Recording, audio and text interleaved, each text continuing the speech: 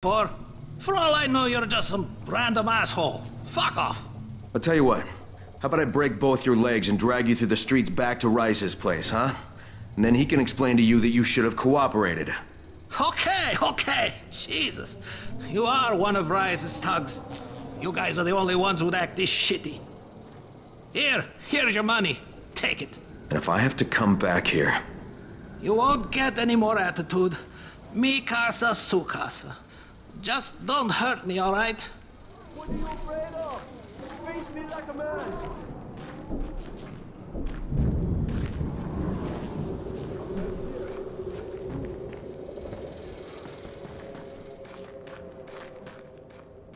Don't be like that. Calm down. Let's do this. I'm not done with you.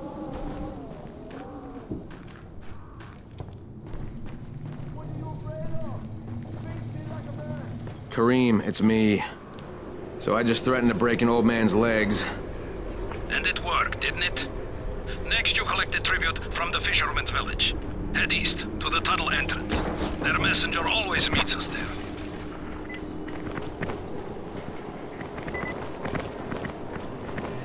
What are you afraid of? Face me like a man.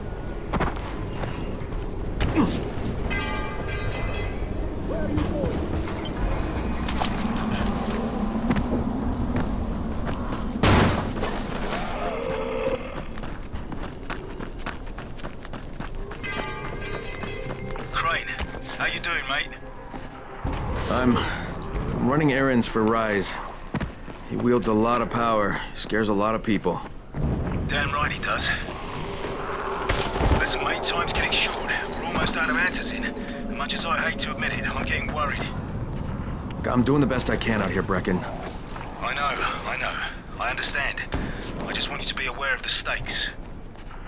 I'm infected too, remember? Believe me, I'm motivated. All right, all right. Here's hoping you can make it back to the tower soon.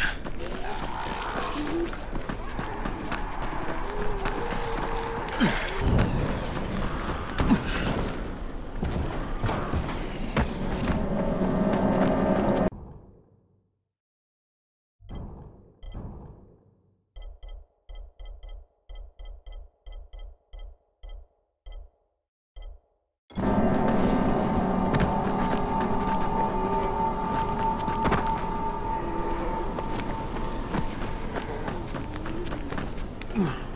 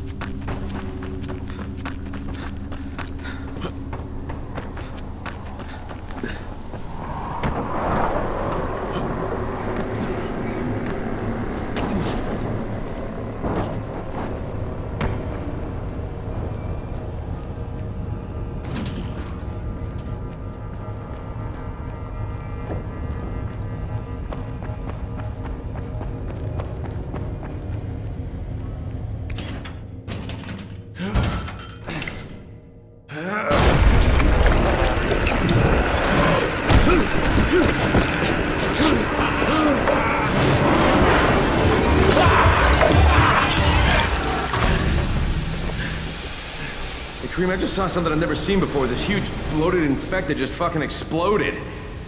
Yeah, we call them bombers. Some of our guys use them to kill other infected. Shoot them, and they take out everything in a three-meter radius. You kidding me? Keep your distance and you'll be fine. But what about the courier? Was he there?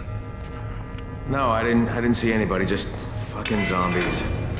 All right. You'll have to go to the village directly, I suppose. Look for a man named Gersel.